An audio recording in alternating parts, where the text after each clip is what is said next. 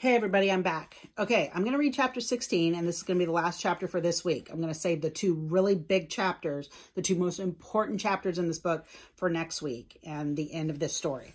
So here's the last one for this week. It's chapter 16. It's called The Grave Diggers.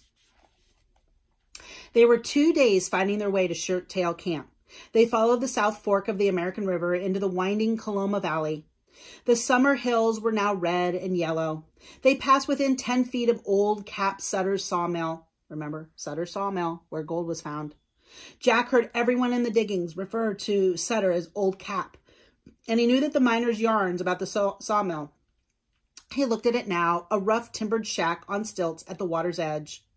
Old Cap had hired a carpenter named Jim Marshall to build it, and that was the way the yarn began.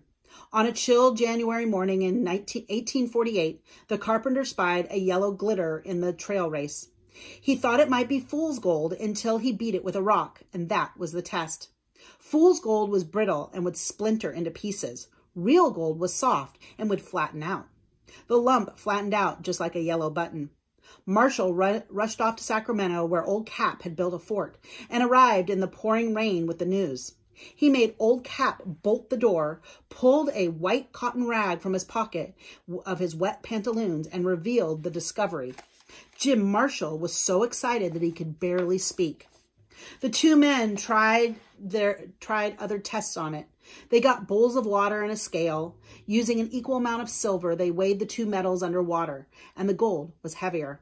Then they tested the samples with acid to see if they could corrode it. They wouldn't. There was no longer any question about Marshall's discovery in the trail race. He had found gold. The news leaked out, and fast. The rush for yellow treasure began, and squatters came swarming into the valley, and now a town had sprung up on both sides of the river. Jack had never seen so many long toms and rockers in his life. Is this the way to Shirttail Camp? Praiseworthy asked a miner standing knee-deep in water and mud. Just follow the river. If you hurry, you might get there in time for a hanging. A lot of boys is taking the day off for this festivities. Praiseworthy just shrugged. We're in no hurry, my partner and I. Well, that dentist fella, they caught him trying to run off with a stolen horse, said the guy.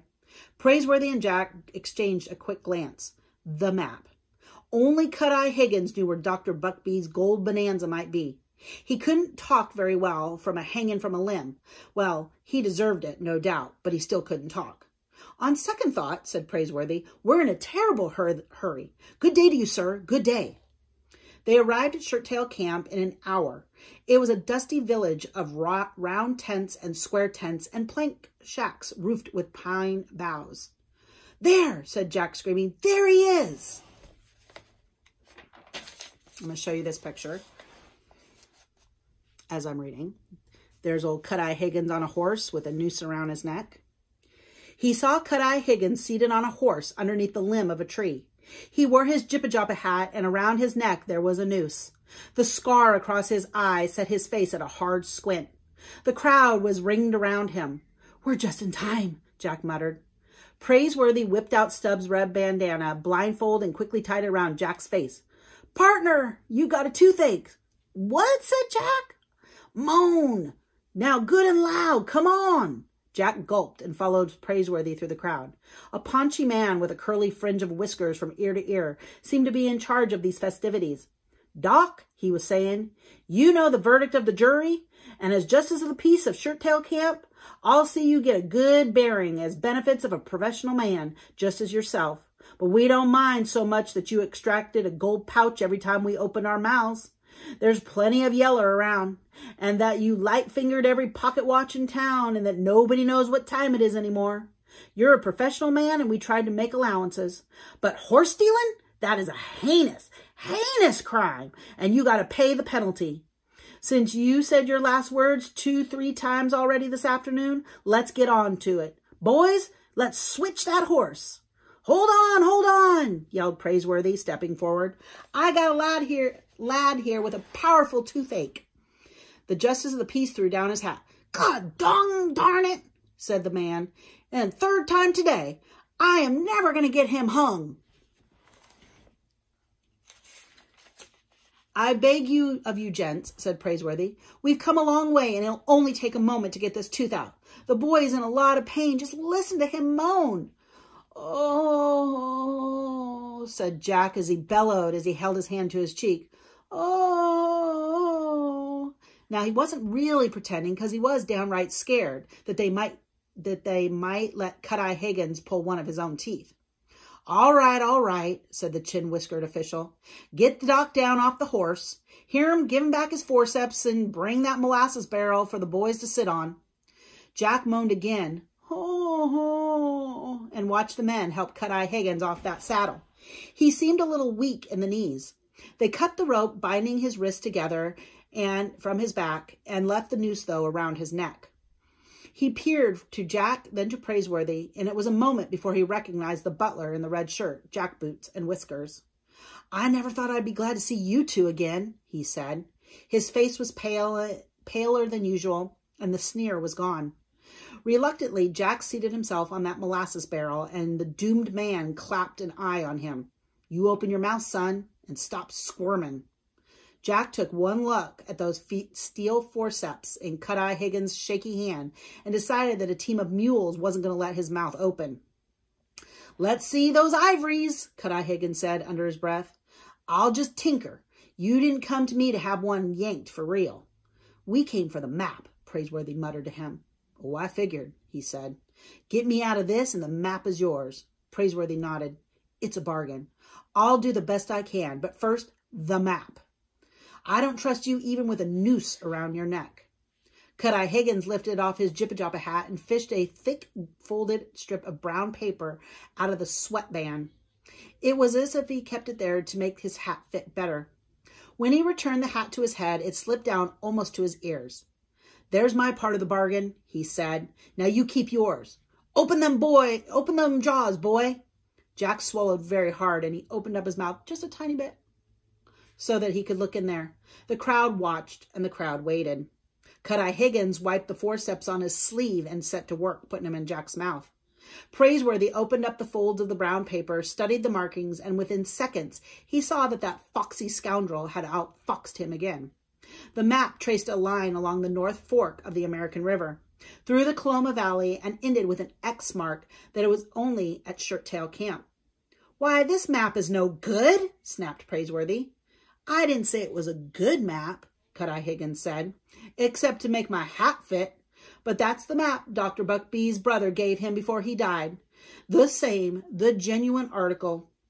Only in the meantime, them pockets of gold got discovered all over and over and over again.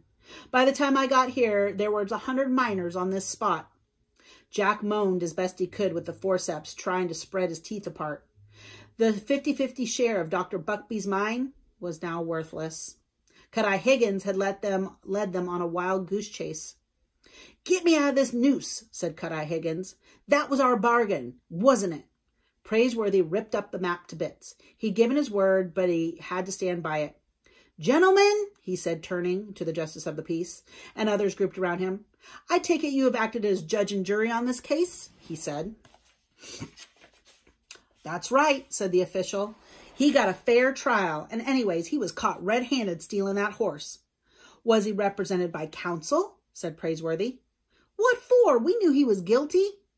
Under the law, if you intend to dispatch Doc Higgins from the limb of that tree, he needs to be represented. Why, everybody here knows that horse stealing is against the law. What law?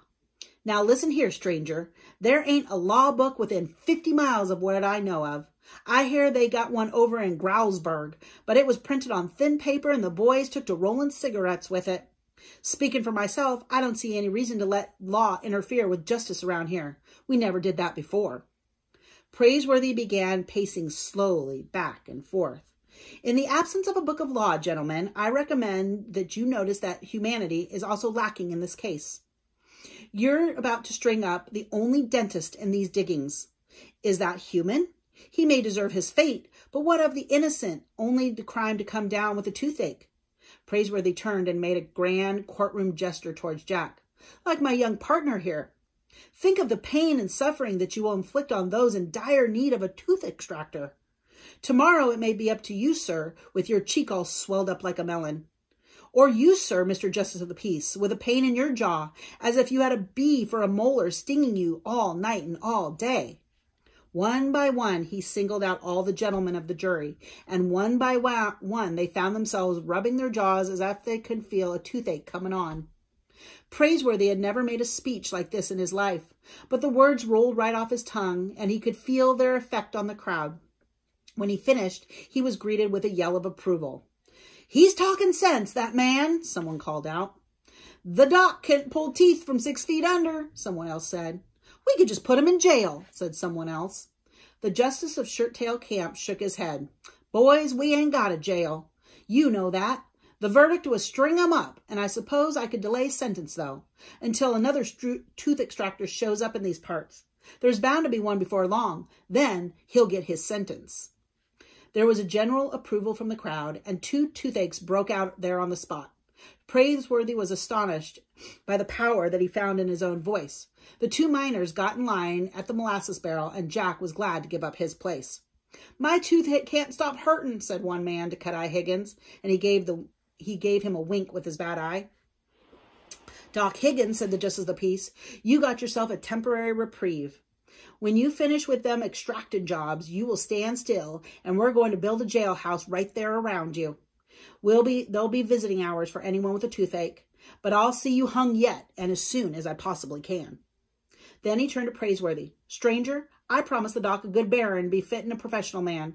Might as well get all the readiness. Since you appointed yourself counsel for the defense, you get up into those hills and you dig him his resting place. Make it six feet deep. Do you understand? Why six feet? said Praiseworthy. Don't be cantankerous, or I'll fine you for being contempt of court, said the guy. Everybody knows a grave has to be six feet deep. Now get going and start digging. The two partners returned to their burro and led him into the hills above the diggings. You sure made a good speech, Jack said to Praiseworthy. It was something to hear. A regular lawyer couldn't have done better. And you saved Cut-Eye Higgins from being strung up and hung. It's just temporary, which is all about he, what he deserves.